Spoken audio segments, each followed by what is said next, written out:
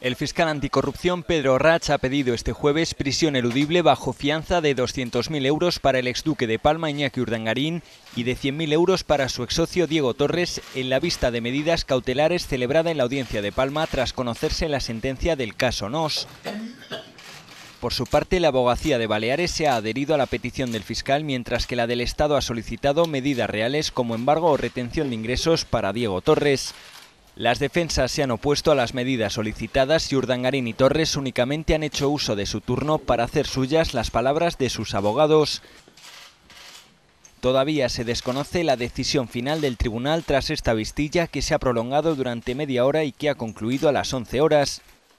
Urdangarín ha llegado sobre las 10 horas y 15 minutos a la sede de la Audiencia Provincial de Palma en un coche con chofer sin la infanta Cristina, quien ha quedado absuelta en este proceso. A su llegada ya se encontraba en la sede de la Audiencia de Palma su abogado Mario Pascual Vives, quien ha entrado sobre las 9 horas 48 minutos de este jueves.